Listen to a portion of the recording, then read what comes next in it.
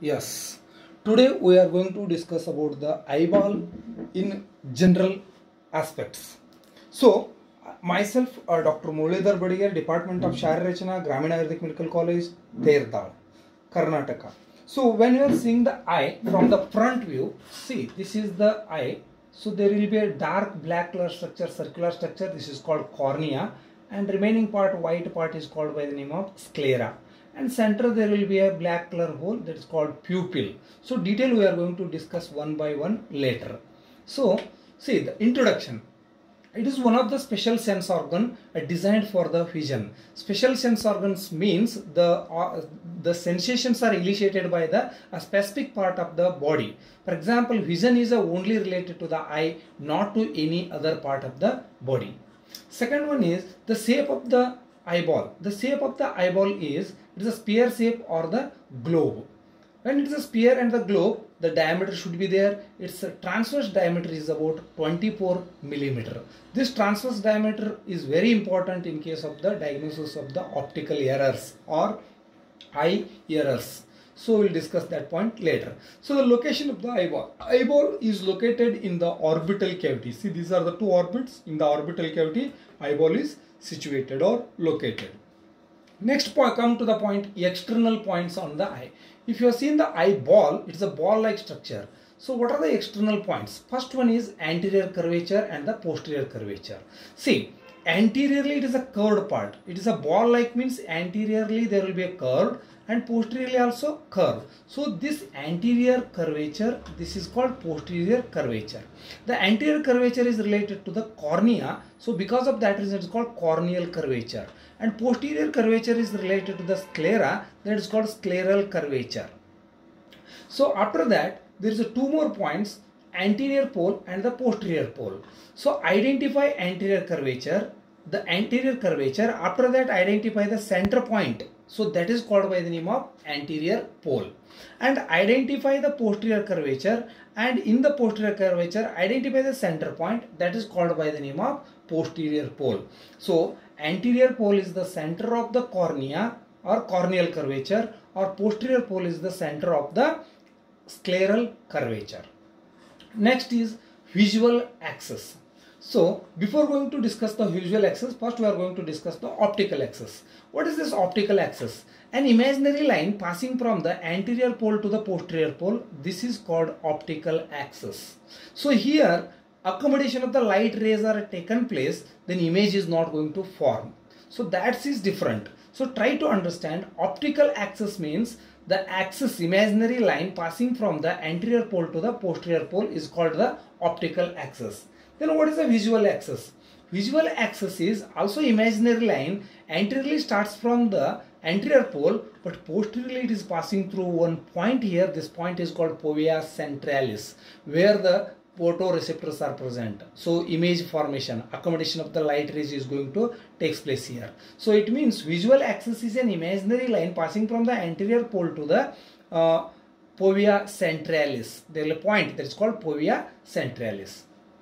After that there is a two more words are there. This is equator and the meridian. What is the equator? Equator is uh, it is a circular line around the eyeball. It is a circular line around the eyeball. Then how to draw it? It is equidistance from the anterior pole and the posterior pole. This is the anterior pole, this is the posterior pole. Equidistance means here the midpoint and draw the circular around the eyeball, draw the line. See here, this is the anterior pole, this is the posterior pole, this is the line drawing here. So this is called by the name of equator.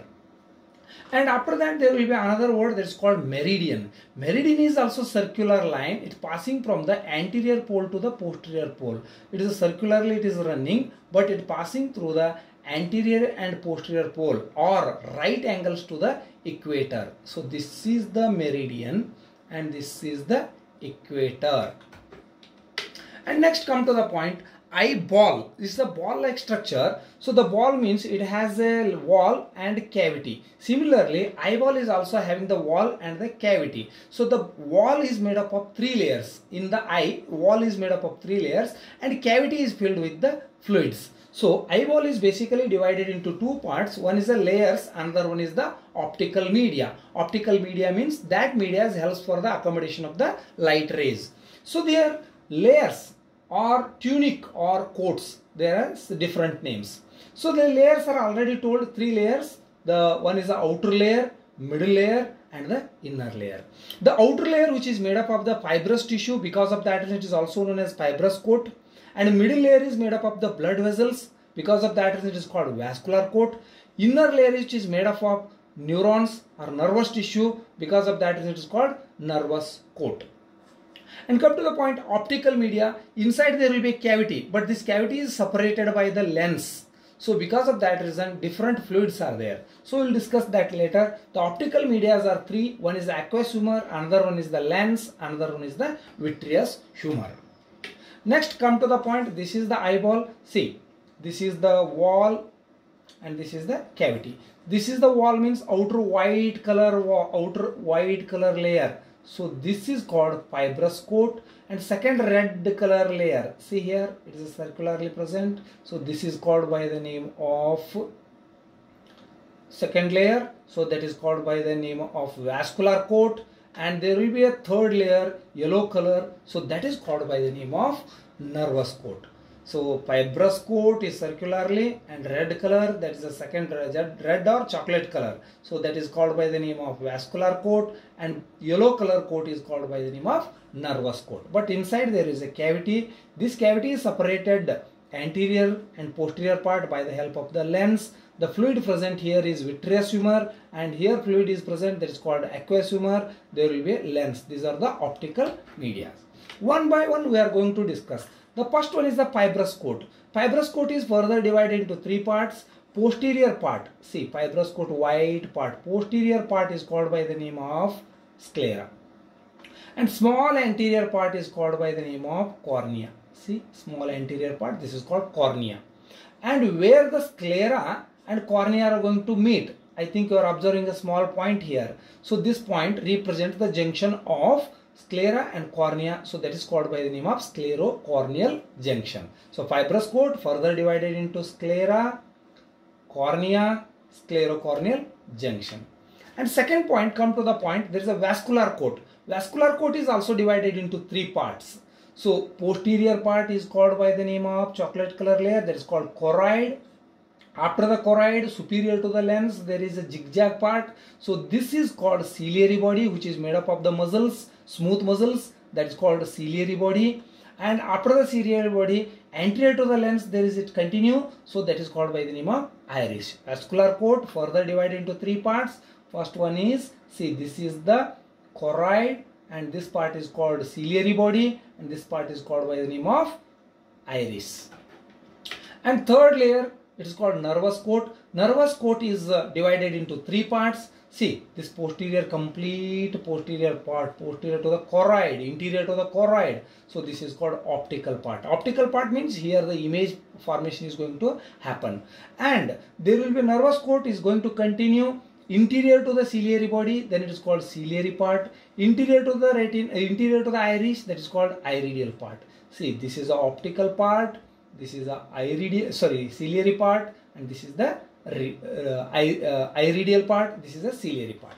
Okay in the optical part in the optical part at the level of the visual axis I already explained. There is a one depression. So this depression is called by the name of macula lutea inside the macula lutea there is another depression that's called fovea centralis. Inside the fovea centralis there is a presence of the rods and cones. Rods are active in dim light and cones are active in the bright light. Here the light rays are passing like this and accommodating in the fovea centralis that helps for the image formation. Next we are going to discuss about the optical media. Before going to discuss the optical media, first eyeball, interior, interior of the eyeball is divided into two segments. One is the anterior segment, another one is the posterior segment. See, this is the anterior segment, anterior to the lens is anterior segment and posterior to the lens is posterior segment. Posterior to the lens, the cavity is called posterior segment. Anterior to the lens cavity is called anterior segment. So the anterior segment further divided into anterior chamber and the posterior chamber. How? By the help of the iris. Anterior to the iris is anterior chamber, posterior to the iris is called posterior chamber. But anterior segment further divided into anterior chamber and the posterior chamber. But posterior segment there is no divisions. But anterior segment consists the fluid or having the fluid that fluid is known as aqueous humor. It may be anterior chamber or it may be posterior chamber. Both are having the aqueous humor. But posterior segment consists the fluid that fluid is known as vitreous humor. In short, I am going to explain. So outermost layer, this is a fibrous coat. Second layer is vascular coat. Third layer is nervous coat. Outermost layer is divided into sclera, sclerocorneal junction and this is a cornea. And second layer, vascular coat is divided into choroid, ciliary body and the iris. And third layer is called, the third layer is called nervous coat Nervous coat is also divided into optical part and posterior to the cilia this is called ciliary part and posterior to the iris that is called iridial part. And next interior of the eyeball which is divided into two segments anterior to the lens is called anterior segment and posterior to the lens is called posterior segment. Anterior segment having the fluid that's called aqueous humor and posterior segment having the fluid that's known as vitreous humor. Thank you.